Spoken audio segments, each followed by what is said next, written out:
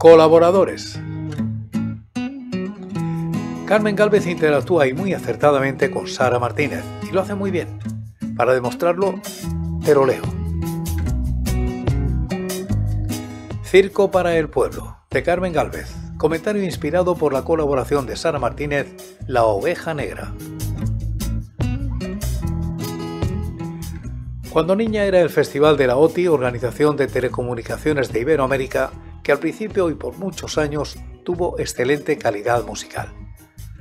Aquí en México polarizaba opiniones y llenaba el ambiente de una sana competencia que reunía a la familia en torno al televisor y en las reuniones era tema de conversación y en ocasiones controversia, aunque raramente de discusión. Estaba basado en el contenido de las letras, música y arreglos musicales y por último en la interpretación, que no en los intérpretes. La mayoría de las veces los ganadores no coincidían con el gusto popular y las finales eran una combinación de aplausos y rechiflas y de anécdotas de reacciones de los participantes. Circo para el pueblo, solían decir los hombres adultos. En aquellos tiempos, en el ámbito común, las mujeres se marginaban de las opiniones políticas. Bueno, más bien, se marginaban de las conversaciones de los varones. Los jóvenes no solían hablar de política y los niños escuchábamos de lejos algún que otro comentario sin poder opinar o interrumpir.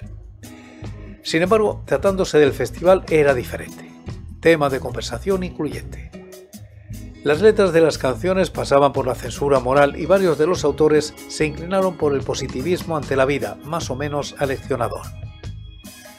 En los últimos años la moral se relajó un tanto y las canciones, sobre todo las cantadas por damas, dieron voz a sentimientos y sensaciones femeninas. Realmente fue una decisión acertada que cambió la percepción de las mujeres ante la vida y generó un vuelco en la lucha por los derechos femeninos. Por otra parte, en las competencias internacionales creaba un sentimiento nacionalista en el que el tema que nos representaba era apoyado por todos sin importar si había sido nuestro favorito en la justa nacional. Poco a poco los festivales de la canción terminaron por comercializarse por completo se crearon concursos juveniles e infantiles que, si bien causaron interés y abrieron la puerta a talentos que forjaron sólidas carreras profesionales, fueron certámenes que no lograron un arraigo en el gusto del público. El último festival con algo de interés general fue el OTI de 1985, en el que la canción que nos representó, aun cuando trataba del folclore nacional y fue interpretada genialmente por una de las mejores intérpretes del país, quedó muy lejos de ser la preferencia de la población y sin duda tenemos la certeza de que tampoco fue del gusto internacional. Sin embargo, nos trajo una de las mayores satisfacciones históricas de todos los tiempos a nivel humano. La final se celebró un par de días después del terremoto de 1985 que devastó varios poblados y la capital de nuestro país, México. Las comunicaciones nacionales e internacionales estaban colapsadas y nadie, ni aquí ni en el extranjero, teníamos idea de la magnitud de los daños. Los brigadistas luchaban por rescatar la mayor cantidad de personas posible de debajo de los escombros. La solidaridad entre vecinos se hizo presente en cada acto desde el primer momento, pero la de los compatriotas e internacionales aún no llegaba por el corto tiempo transcurrido a los acontecimientos y la falta de experiencia para atender emergencias de este tipo. Con todo, algunos medios radiofónicos y televisivos pudieron seguir transmitiendo y, aunque mucho del tiempo se utilizó en lo más urgente, también se dedicó para proporcionar distracción a la ciudadanía. Muchas empresas y familias compartieron radios y televisores con quienes lo perdieron todo. La población estaba atenta al evento sin descuidar sus labores. En el Teatro de Sevilla, donde se realizó la final, se percibía el ambiente de angustia, afecto empático y solidaridad. Cada uno de los participantes nos dio algo especial. Eugenia León, nuestra representante, volcó todos sus sentimientos en la interpretación.